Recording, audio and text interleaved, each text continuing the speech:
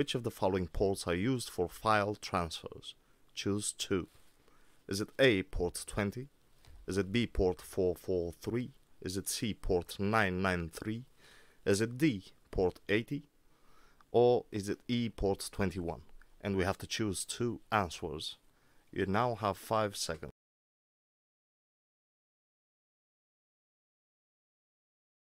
And the correct answers are port 20 and port 21. These ports are used for the FTP or file transfers.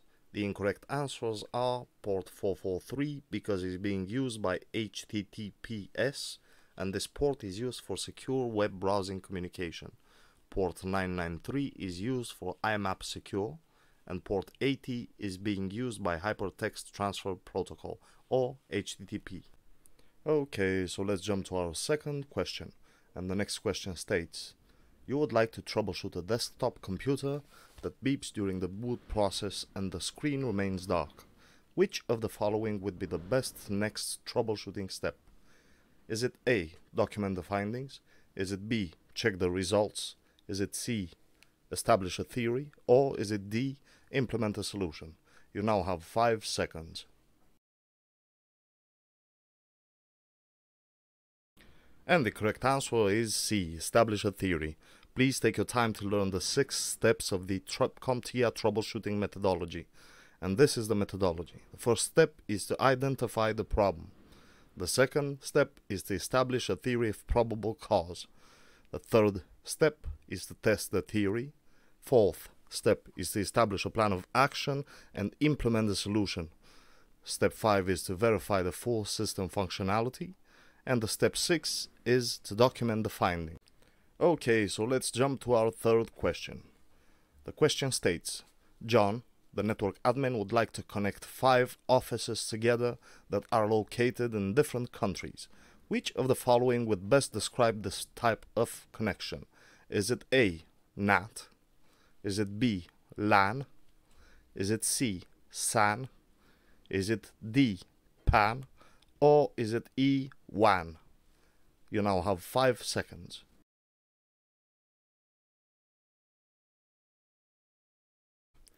And the correct answer is WAN or Wide Area Network. This usually connects locations over a long geographical distance, for example, a connection between two cities or countries. A LAN is being used in order to establish a connection that is being used in your building or home. A PAN is considered to be a network designed for a small area, and it is usually being used for to pair Bluetooth devices such as headsets and speakers. And the NAT, or Network Address Translation, is used to change the source or destination IP address as it travels the network, and it is usually configured on a router. Okay, now let's jump to our fourth question. And the question states, you are at your office and you are trying to print a document on your laser printer from a specific application. When you verify the laser printer, everything seems to be in good working order, but when you are trying to send a print job, there is no output all of your other colleagues are able to print on the same device without any issues. Choose from the following list your next best troubleshooting step. Is it A. Unplug your printer? Is it B. Restart your computer? Is it C. Restart the printer spooler? Or is it D. Verify that the correct printer has been selected in the application? You now have 5 seconds.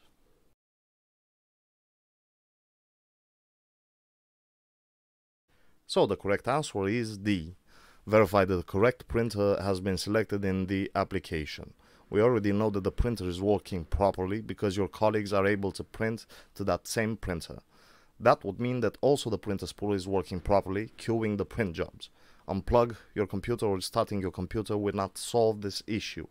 According to the CompTIA troubleshooting methodology, the second step is to establish a theory of probable cause. You should always question the obvious. Okay, so let's jump to our fifth question. And the next question states, a desktop computer has been built using an SSD and NVMe, the maximum amount of RAM, and the high-end graphics card. Which of the following options would best describe the use of this device? Is it A, a touchscreen kiosk? Is it B, a thin client? Is it C, a NAS device? Or is it D, a CAD CAM workstation? You now have 5 seconds.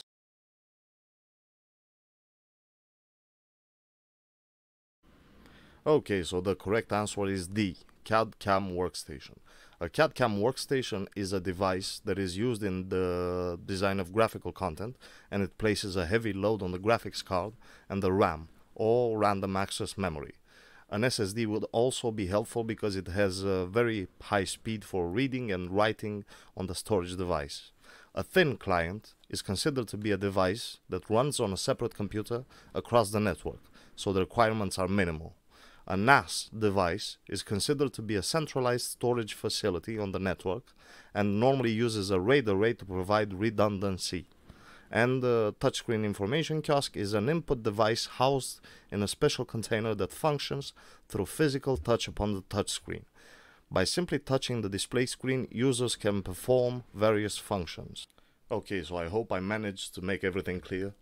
Uh, if so, let us move on to our sixth question and the question states you have just purchased time on a cloud based service that only offers you a hardware platform. Which of the following options would best describe these services? Is it A, SaaS? Is it B, PaaS? Is it C, IaaS? Or is it D, NAS? You now have five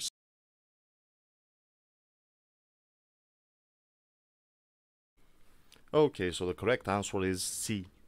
Infrastructure as a Service or IaaS provides services such as pay-as-you-go storage, networking, and virtualization. The service gives users cloud-based alternatives to on-premise infrastructure. The incorrect answers are SaaS or software as a service because this cloud model only provides on-demand software. You as the user are not responsible for any ongoing management for hosting or development. PaaS, or Platform as a Service, is a category of cloud computing services that provides a platform allowing customers to develop, run, and manage applications without the complexity of building and maintaining the infrastructure typically associated with developing and launching an app and the NAS is a device that is considered to be a centralized storage facility on the network and normally uses a RAID array to provide redundancy. Okay, now let's jump to our seventh question. And the question states, how do we call the process of controlling network access to destination websites based on the URL? Is it A, NAS? Is it B, MAC filtering? Is it C, whitelisting? or is it D, QoS? You now have 5 seconds.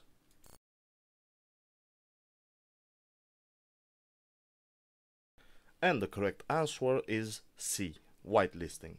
Whitelisting is a tool used to protect business computer networks. It complements other security measures like antivirus software and firewalls. Whitelisting blocks unauthorized software uh, until it is specifically allowed to connect to the network. A NAS is a device that is considered to be a centralized storage facility on the network and normally uses a RAID array to provide redundancy.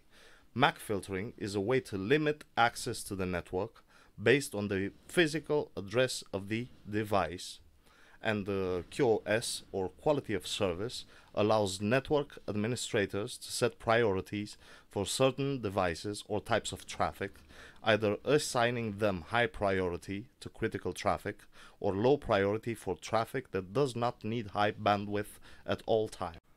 Okay, let's jump to our next question. And the question states, your manager asked you to buy a new 3D printer. What should you consider adding to your order to avoid placing another different order and lose time? Is it A. Imaging drum? Is it B. Fuser? Is it C. Ink cartridges? Or is it D. Plastic filament? You now have 5 seconds.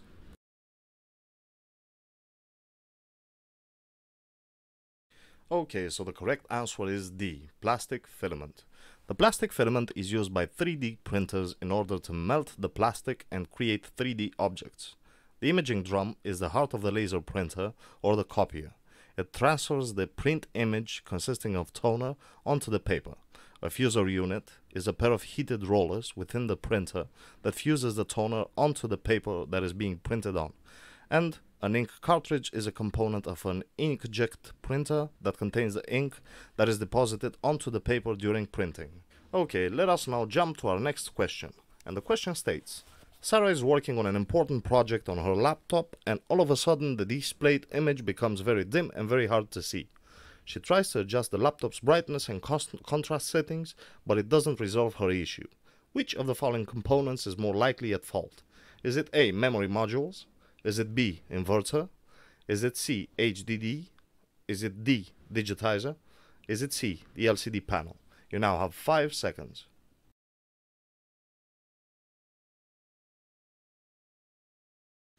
And the correct answer is B, the inverter.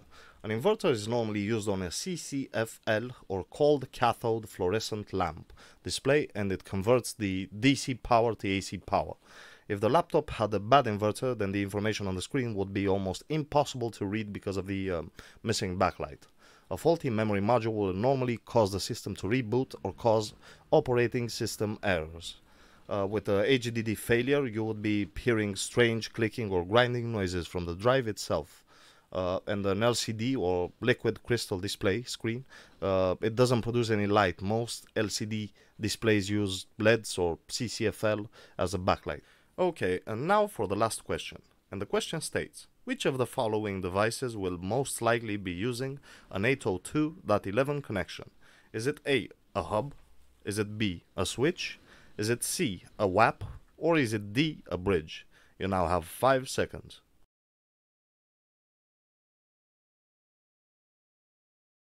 Okay, so the correct answer is C, a WAP. a wireless access point, or a WAP, is a device that bridges the 802.11 wireless network together with a wired Ethernet network. A hub is a device that connects multiple Ethernet devices together, but it cannot communicate over the wireless connection.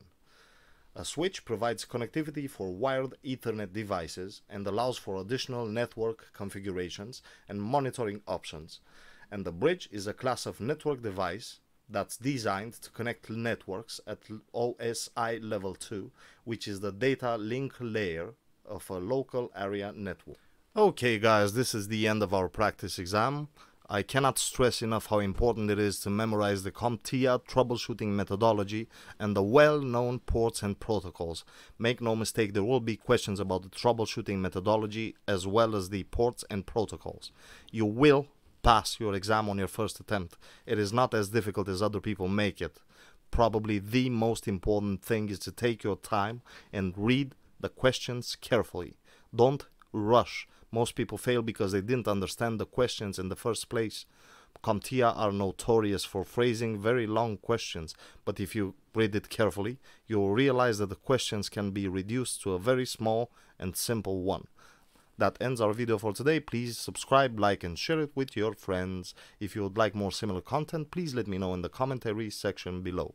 I hope that you find this video helpful, and I'll see you guys next